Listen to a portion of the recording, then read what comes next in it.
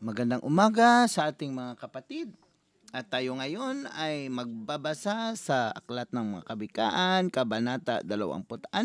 At narito si Pastor Joshua upang magbahagi sa atin ng salita ng Panginoon. Ang kabanatang ito ay konektado sa, naka, uh, ka, sa Kabanata 25.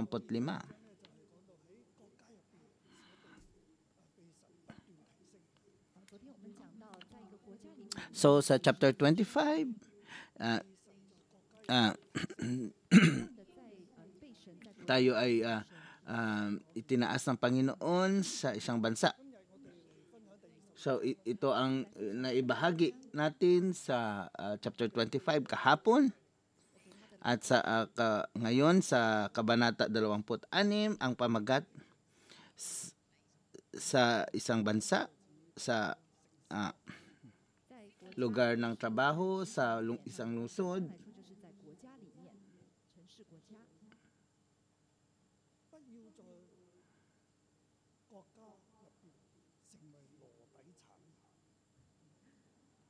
Mm.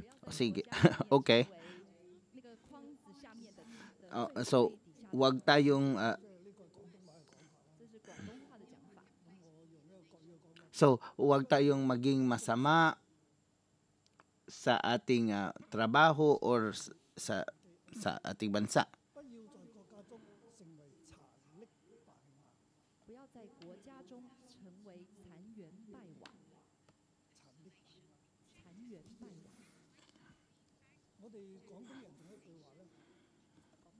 So, So, wag tayong maging maging pinakapangit sa ating bansa or wag tayong mawala.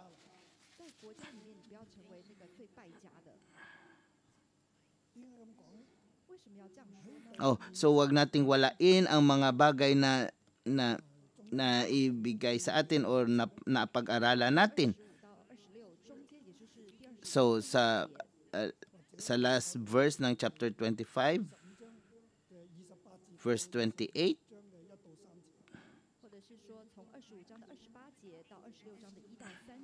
So so verse chapter 25 verse 28 at chapter 26 verse 1 to 8 So merong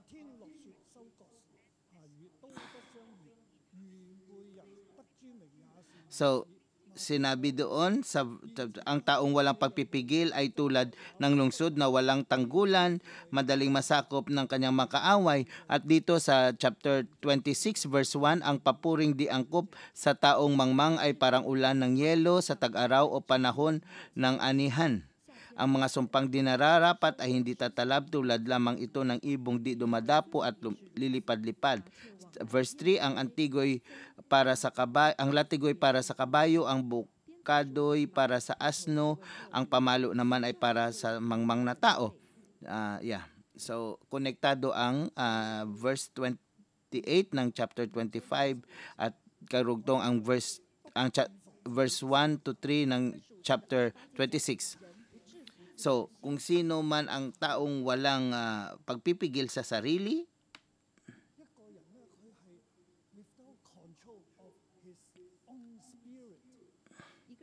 sa English, uh, control of his own spirit. So, hindi mo kayang pigilan ang iyong sarili. Sa, uh, hindi mo kayang, uh, yeah, hindi mo siya kayang kontrolin ang iyong sarili. So ang taong ito na sinasabi dito sa chapter 20 uh, sa chapter 25 verse 28 ito ay ay uh, yeah, maglalagay sa iyo sa kap, sarili mong kapahamakan. So, so, so, wag mong sirain ang iyong sarili at maging ikaw ay pinakapangit sa iyong lungsod, sa iyong trabaho, sa iyong pamilya, sa, sa iyong sos- social na pakikipag-ugnayan. Yeah. Ang dapat ay gamitin tayo ay itataas ng Panginoon. Ito ang sinabi ko kahapon sa ating uh, mga trabaho sa ating uh, bansa tayo ay gagamitin at itataas ng Panginoon. Ngunit dito sa sa sa huling uh, talata ng chapter 25 sa verse 28, uh, wag mong uh, wag mong sirain or uh, ang yung sarili. So doon sa mga naunang talata na pag ginawa natin ang ating uh, ang, ang nararapat na gawin na tayo ay na mapagkumbaba at uh, uh, magandang ating pakikipag-ugnayan ito ay it, magtataas itataas tayo ng Panginoon. At yeah, kung hindi tayo nagiging palalo at uh, tayo nagpapasakop sa Panginoon at hindi at hindi tayo uh, sumasalungat doon sa hari uh, sa Panginoon. Uh, kapag ikaw ay uh, na, nagsasalita uh, ang kilos mo ay nasa tamang as nasa wasto ito ay nakakalugod. Kung ikaw ay kumakain hindi ka ganit uh, or or sobra ang pagkain. At at hindi ka palaging um, nasa bahay ng ng ng yung mga kaibigan So magka, uh, nagkakaroon ka da, magkakaroon ka dapat ng uh, pagpipigil sa sarili sa lahat ng bagay. So paano mo gagawin ito? Paano ka um, paano mo ibababa uh, magpakumbaba? Paano ka magiging uh, ma, uh, paano ka, mo pipigilan ang iyong sarili? Ito ang sinasabi dito sa uh, chapter 25. So ito ay mangyayari kung uh, kaya mong nating pigilan, kaya nating ang pagpipigil sa ating mga sarili. Yes, self-control. So sa ordinaryong tao, meron tayong mga feeling, uh, pakiramdam na nagagalit. Ngunit kailangan nating magpipigil. Dahil dito sa verse 28 ng chapter 25 ay sinasabi sa atin,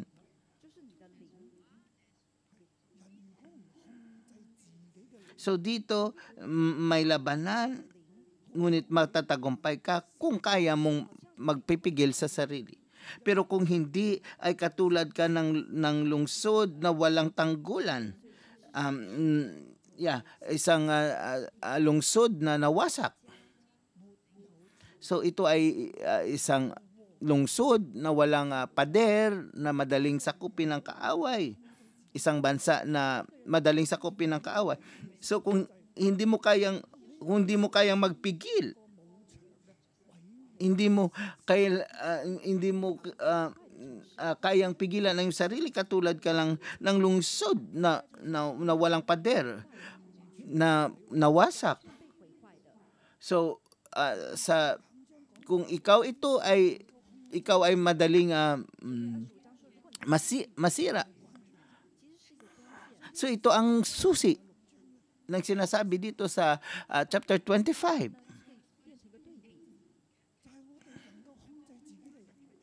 Kaya nga itong uh, last last na na uh, verse nitong chapter 28 So kung kaya mong magpigil sa sarili, yeah, at magpakumbaba at uh, uh, ang mga salita mo ay akma at tama. So ang lahat ng iyong mga sinasabi ay, ay gintong mansana sa um, isang pinggan na natataso at hindi ka nag uh, uh, kompetensya sa iba. Makapagsalita ka ng maganda at maayos at itataas ka ng Panginoon. At, at ang hari ay uh, itataas ka So sa saan ka man sa lungsod mo, uh, ikaw ay itataas at gagamitin ng Panginoon. So ito ay uh, uh, dahil sa kung kaya mong pigilan ang iyong sarili, may pagpipigil ka sa sarili. So, uh, kaya mo bang pigilan ang iyong sarili? Ito ang susi. Ngunit kung hindi mo kayang um, pigilan ang iyong sarili uh, at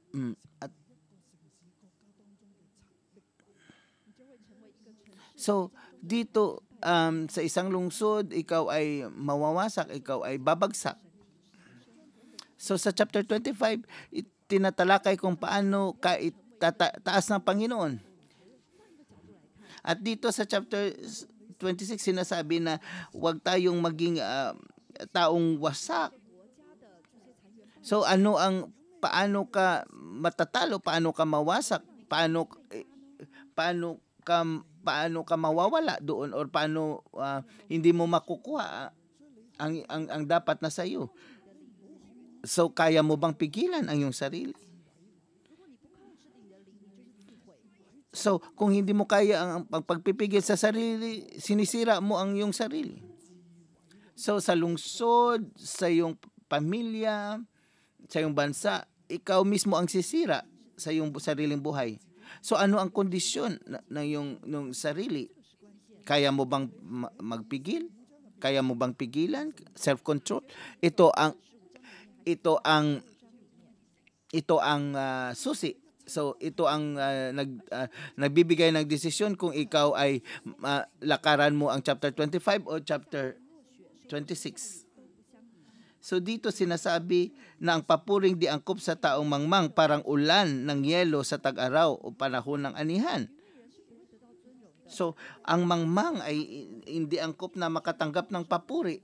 Kaya nga dapat ma- magkaroon tayo na ng pagpipigil sa sarili. At dapat mag-ingat tayo na hindi tayo magiging mangmang. At kung ta- ikaw ay magiging isang mangmang,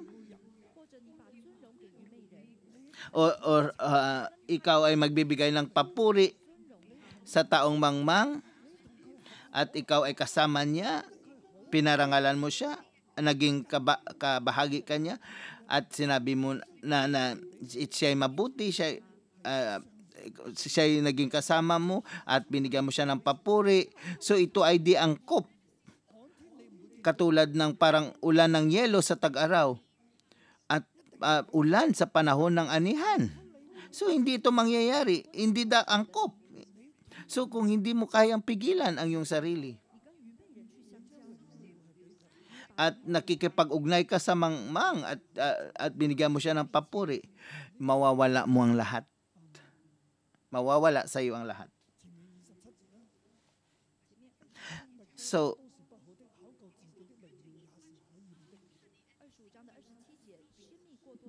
verse 27 ng chapter 25 kung paanong makasama lalabis na pulok-pukyutan gayon din ang pagkagahaman sa karangalan. So pagkatapos ng ah, ng key ah, key verse yung susi na, na na talata dito sa chapter 25 dito sa chapter 26 ang unang talata ay sinasabi ang papuri di angkop sa taong mangmang.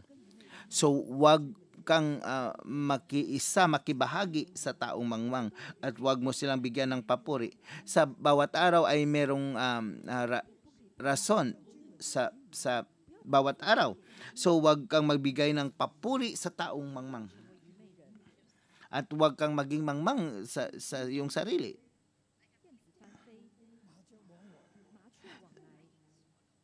So tulad ng isang ibong di dumadapo at lilipad-lipad.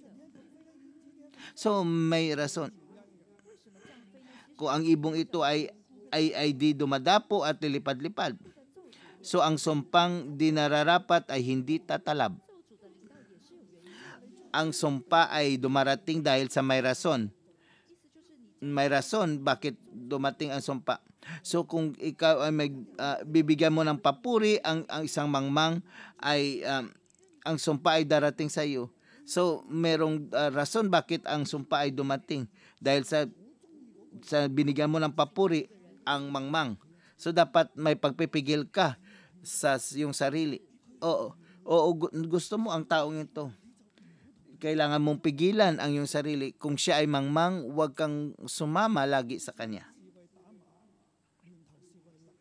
So ang latigoy para sa kabayo, ang bukanoy para sa asno, ang pamalo naman ay sa mangmang na tao. Uh, verse 3 ng chapter 26. Kung ikaw ay kasama niya,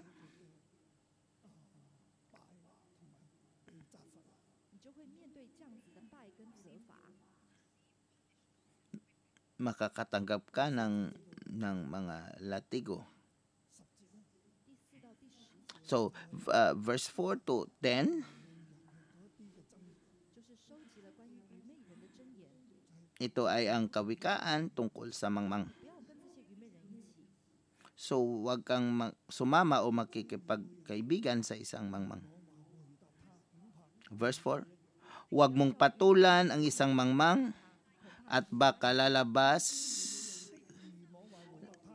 baka lalabas na higit ka pang mangmang. Sa verse 5, sagutin mo ang mangmang ayon sa kanyang kahangalan upang hindi niya isipin na siya may katwiran.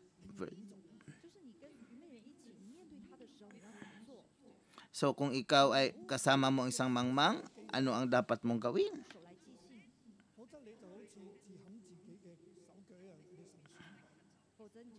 So ang pagpadala ng balita sa mangmang ay napakadelikado para mo ring tinaga ang, ang mga paa nito. Kung ang paa ay kung ang paa ay pilay ay walang kab- at ah, ay walang kabuluhan. Ganon din ang kawikaan sa bibig ng mangmang. Verse 7. Verse 8, ang isang papuring sa mangmang inuukol ay parang batong nakatali sa balat ng tirador. So ito ay So verse 9, ang isang kawikaan sa bibig ng mangmang ay tulad ng tinik sa kamay ng lasing. So ano man ang sasabihin mo sa kanila, ito ay walang, magiging walang kabuluhan.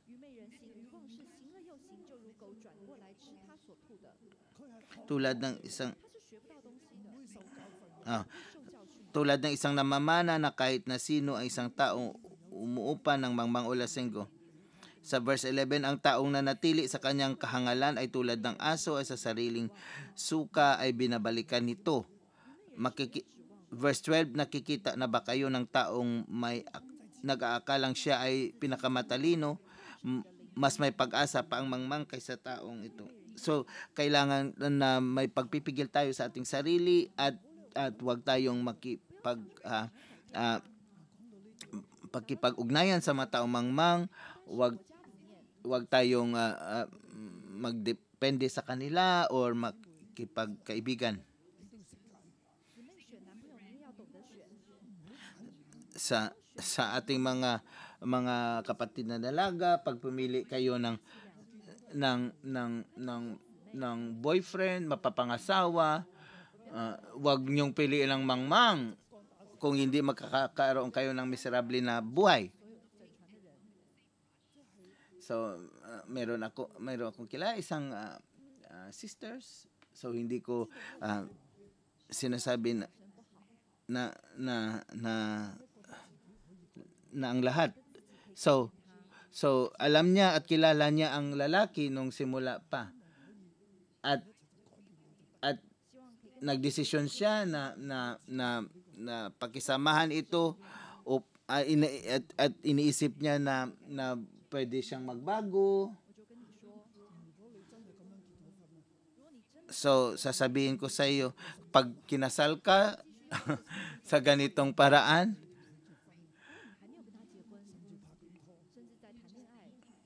parehas. Kung ikaw ay kasal na pa- pagpatuloy ka sa sa sa sa iyong ah, kasal.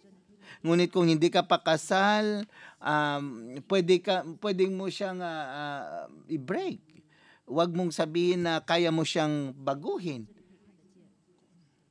So ang taong ito ang mangmang. So ang mangmang ay hindi na magbabago katulad ng isang leopardo, hindi nagbabago ang kanyang uh, kulay. So gagawa siya ng ng ng ng kamangmangan. Patuloy siyang gagawa ng kamangmangan pag sinasabihan mo siya ng mga kawikaan, hindi niya nagpinapakinggan.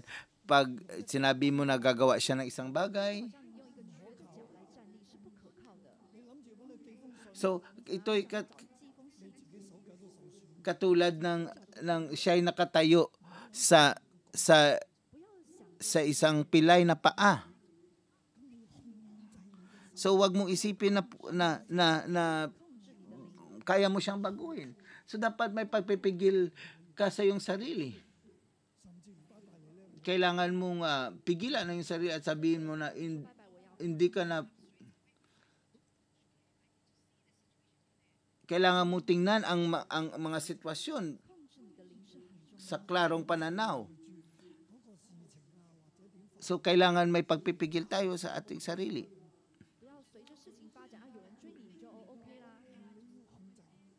So so wag mong tingnan na na may may nangligaw sa iyo, hinabol ka niya. To tingnan mo kung ano ang mga mangyayari, ang ano. Ganon din sa sa ating trabaho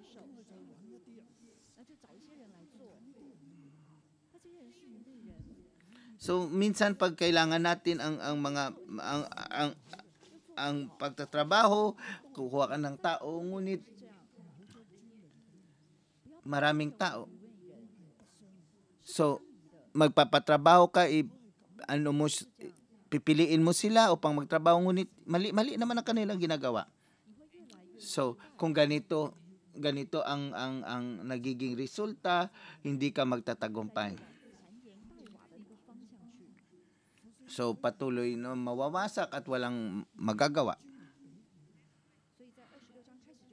Kaya nga sa sa kaya nga sa simula ng uh, chapter 26, ang mangmang ay ay hindi ang ang papuri ay hindi angkop sa mangmang. So uh, yeah, kailangan pigilan mo sarili at huwag kang makikipag uh, na, uh, isa sa kanila.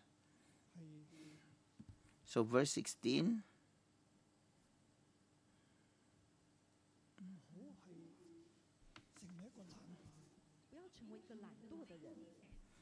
So wag tayong maging tamad na tao. So dapat na may pagpipigil tayo sa ating sarili. At wag uh, maging tamad.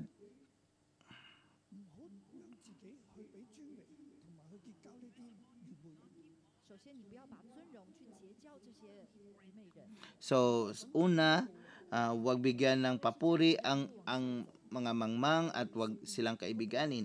Kung gagawin mo ito, ito ang iyong ikakabagsak. Verse verse 16.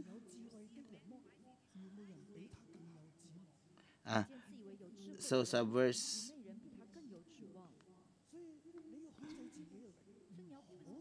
12? Nakikita ba kayo ng taong nagakalang siya ay matalino? Mas pag-asa pa ang mangmang kaysa taong ito. So patuloy nating uh, pigilan ang ating sarili, pigilan ang ating uh, uh, mga emosyon at huwag maging tamad.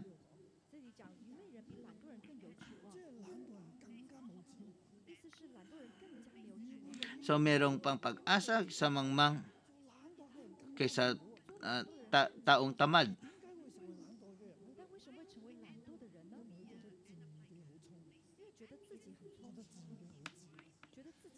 So bakit siya nagiging tamad dahil siya siya ay matalino sa kanyang uh, uh, siya ay nag-aakalang siya ay matalino. So tinalakay natin kahapon ito na sinasabi na dapat natin gawin ito ngunit ang taong ah, tamad ay, ay, inakala niyang may siya ay matalino sa, sa sasabihin niya na bakit gagawin ko pa ito? Ga- gagawa na lang ako ng shortcut. Bakit pa ako magpapagod? Bakit pa ako mananatili dito sa sa sa ganitong sa, sa sinasabi ng pag pwede kong gawin ang ginagawa mo sa isang sa isang taon ang ang ginagawa mo ng sampung taon. So, siya ay ah, nag-akalang matalino sa kanyang sarili. So, may mas pag-asa pa ang mangmang kaysa taong ito. So, bakit ang taong bakit ang tao ay nagiging tamad? Ano ang problema? So, babalikan natin ito later.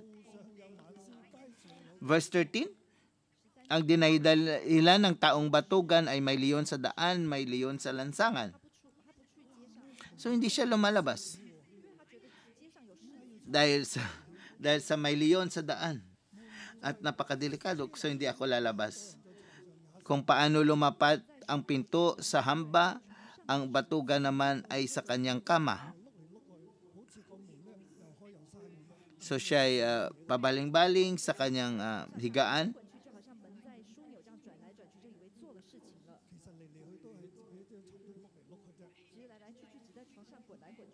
na parang may ginagawa siya ngunit sa totoo siya ay nakaiga lamang. So verse 15, ang kamay ng tamad ay nadidikit sa pinggan ni hindi mailapit sa bibig dahil sa katamaran. Verse 15.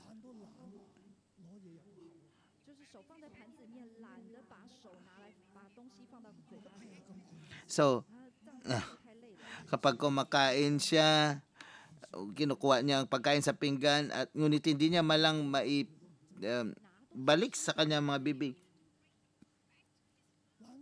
dahil sa tinatamad na siya.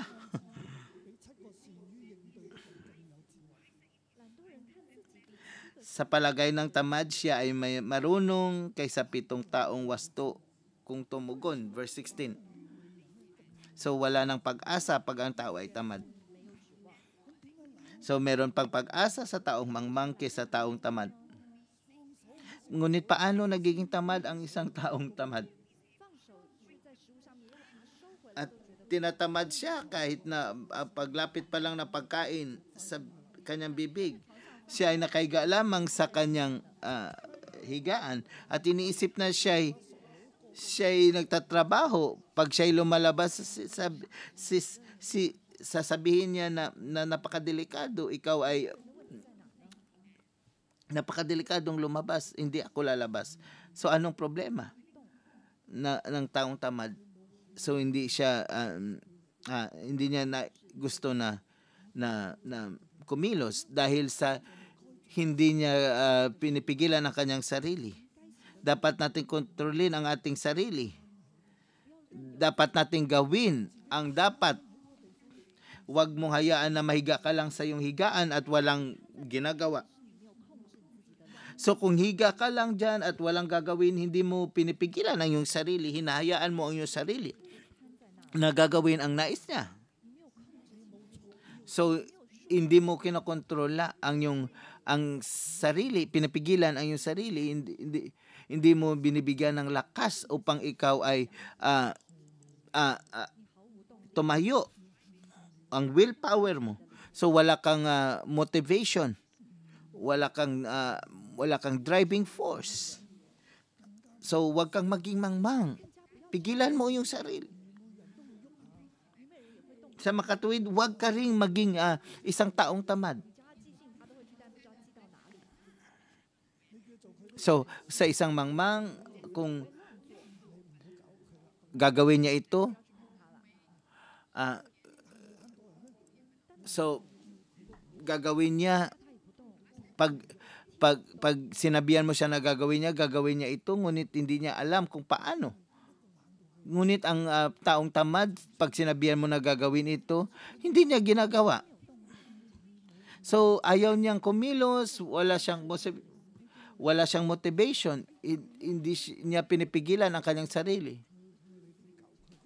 Ang kanyang espiritu ay hindi sabi na, oh, I need to mo- move, I need to work. Na kailangan ko magtrabaho. So, ang kahantungan niya ay masisira siya.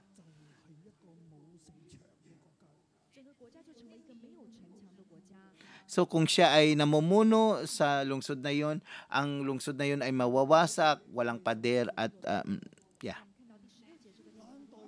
At dito sa verse 16, ang palagay ng tamad, siya ay may marunong kesa pitong taong wasto kung tumugon. So, wala siyang karunungan, yeah, wala siyang ah, alam. Ngunit uh, sa kanyang sariling paningin, siya ay wasto, siya ay marunong. At sa palagay niya, mas marunong pa siya kaysa pitong taong wasto kung tumugon. So iniisip niya talaga na siya ay taong marunong. At dito uh, sa susunod na mga talata, sinasabi ang mga kupuna ng mga tao, klase ng tao. So bilang isang uh, nilalang uh, tao, huwag tayong magiging isang mangmang at huwag di tayong maging taong tamad. Merong uh, pag-asa ang mangmang kesa taong tamad.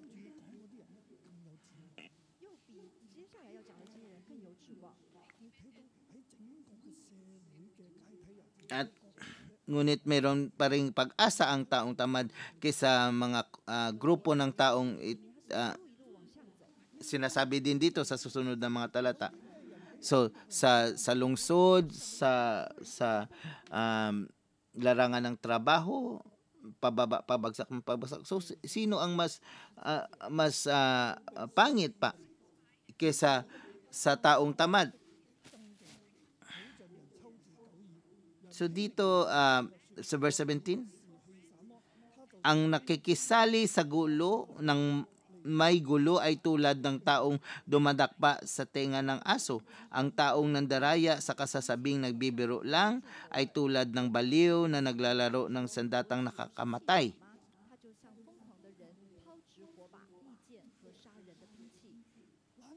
Verse 18 to 19.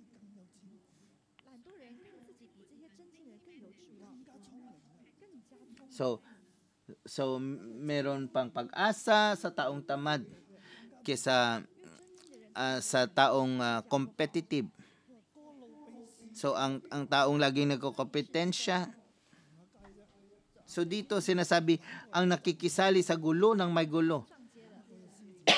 so ang taong tamad ay hindi, hindi lumalabas sa lansangan kasi sinasabi niya na may may leon, hindi ba? So ito, pero ang taong itong laging nakikialam, competitive, pag um, siya ay laging nakikisali. So, nakikisali siya sa gulo nang hindi sa kanya.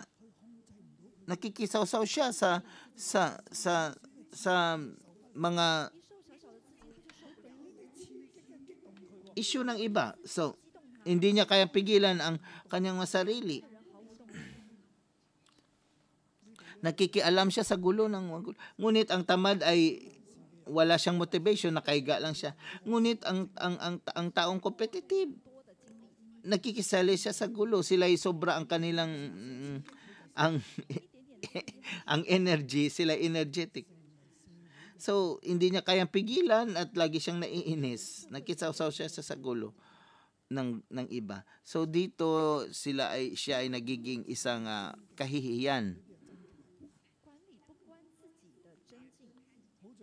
So, nakikisali sa gulo ng ng may gulo ay ang ay, ay katulad ng taong dumadakma sa tenga ng aso. So, ang ang ang aso ay nandoon nakahiga sa gilid ng lansangan. So, so ah, dadakmain niya ang tenga ng asong yun. So, katulad ito. Bakit siya masyadong nosy? Nais niya lang makikisali sa gulo ng ng may gulo. So, yeah. So, alam mo na ang aso ay uh, mabangis. Bab- yeah, balik kagatin kaya. So, bakit ginagawa ng taong ito? Dahil sa hindi niya kayang pigilan ang kanyang sarili. So, tulungan nawa tayo ng Panginoon na huwag tayo makisali sa mga gulo. So, wag tayo maging mangmang, wala hindi tayo magiging taong tamad at hindi, tayo maging uh, nosy na tao. Yung nakikigulo lagi, yung competitive na tao. Hindi din hindi din ito maganda. So mababagsak ka, mawawasak ka. Ganun ganun din ang ganun din ang mga chismosa. So, mamamatay ang apoy, kung ubos na ang kahoy, hi- nahihinto ang away kapag walang nangsusulsol. Kung ang bagay nakadikit dahil sa pag-ihip at nagliliyab ang apoy kung maraming gatong patuloy ang labo-labo kung maraming mapanggulo. Ang chismis ay tulad ng masarap na pagkain, masarap pakinggan, masarap namnamin.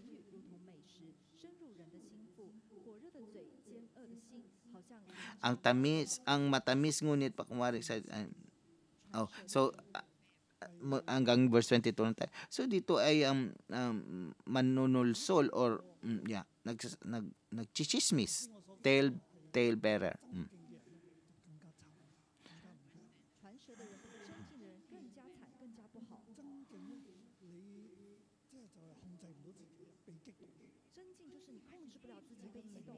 Oh, tagapagdala ng kwento, chismosa.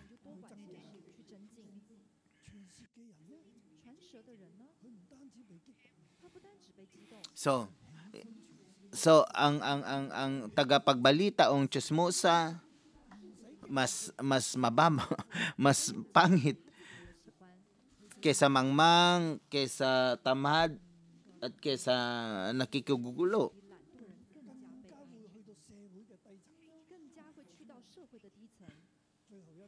So, ang sunod na naman, itong ang, ang chismosa. So, sa sunod dito ay ang taong puno ng uh, galit.